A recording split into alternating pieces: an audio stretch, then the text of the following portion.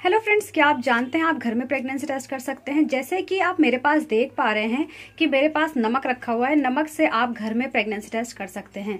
तो आज मैं आपको बताने जा रही हूँ प्रेगनेंसी टेस्ट आपको ये कब करना है और कैसे करना है। तो चलिए शुरू करते हैं। चैनल पर पहली बार आए हैं तो वीडियो को लाइक करना और चैनल को सब्सक्राइब करना बिल्कुल ना भूलें। देखिए फ्रेंड्स जब भी आप प्रेग्नेंट होती हैं तो आपके पीरियड मिस हो जाते हैं। पीरियड मिस होने पर आपको यह टेस्ट कब लगाना है? तो देखिए, आपका जब भी, जो भी पीरियड डेट है।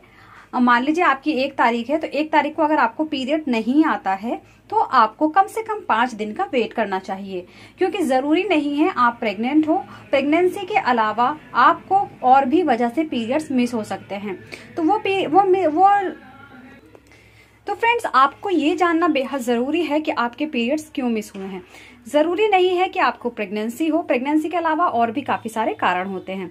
तो मैं आपको बताना चाहूँगी कुछ कारण जिसकी वजह से आपके पीरियड मिस हो सकते हैं। तो आपको सबसे पहले ये देखना है कि आपके पीरियड क्यों मिस हुए हैं। देखिए, सबसे बड़ा कारण होता है स्ट्रेस अगर आपने बहुत ज़्यादा स्ट्रेस लिया है तो उसकी वजह से आपके हार्मोन्स इम्बैलेंस हो जाते हैं और आप जो है आपके पीरियड लेट हो जाते हैं। इसके अलावा आपने पी, आपको पीसीओडी की प्रॉब्लम हो यानी कि पॉलिसिस्टिक ओवरी डिज़ीज़ अगर आपके ओवरी में छोटी छोटी सिस्ट बन जाती है जिसकी वजह से आपको पीरियड्स टाइम पर नहीं आते हैं।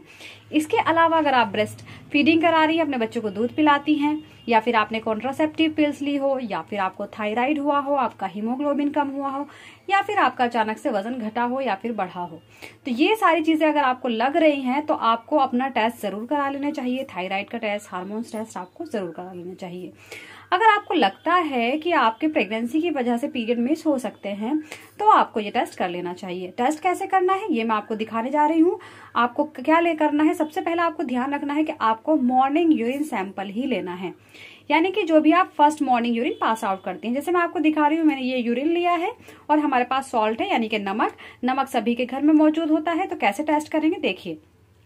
सबसे पहले क्या बताया आपको? आपको मॉर्निंग यूरिन सैंपल लेना है और दूसरी चीज़, आपको हमेशा पीरियड डेट के पाँच दिन बाद ही टेस्ट लगाना है और तीसरी चीज़, अब हम करेंगे नमक से टेस्ट। इसके अलावा फ्रेंड्स, आप किसी भी किट से आप टेस्ट कर सकती हैं, पचास रुपए की किट आती है, उससे भी आप प्रेगनेंसी टेस्ट लगा सकती हैं और अपना कंफर्म कर सकती हैं। तो देखिए, नमक को हम डालेंगे अगर प्रेग्नेंट लेडी के उसमें यूरिन में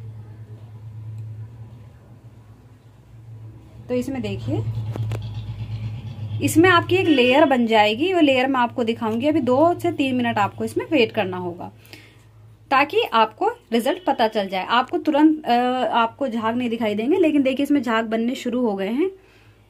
ये आप देख सकते हैं। इसके अलावा देखिए फ्रेंड्स आप किट से भी प्रेगनेंसी टेस्ट कर सकते हैं। देखिए फ्रेंड्स दो से तीन मिनट बाद इस पर यूरिन पर लेयर बननी शुरू हो जाती है इस टाइप से। और हल्के से बबल्स इसमें आपको दिखाई दे सकते हैं, झाग दिखाई दे सकते हैं, जिसकी वजह जिससे आप कंफर्म कर सकती हैं कि आप प्रेग्नेंट हैं। कंफर्म करने के लिए आप या तो किट से टेस्ट कर सकते हैं, या फिर आपका अगर नहीं लग रहा है कि आपको लग कुछ भी डाउट है तो आप लैब से जाकर के बीटा एच टेस्ट करा सकती हैं। उम्मीद करती हूँ आप सभी को वीडियो समझ आई होगी और पसंद आ गई होगी। इसके अलावा आप कुछ भी पूछना चाहें, आप मुझसे कमेंट बॉक्स में पूछ सकते हैं। Thank you so much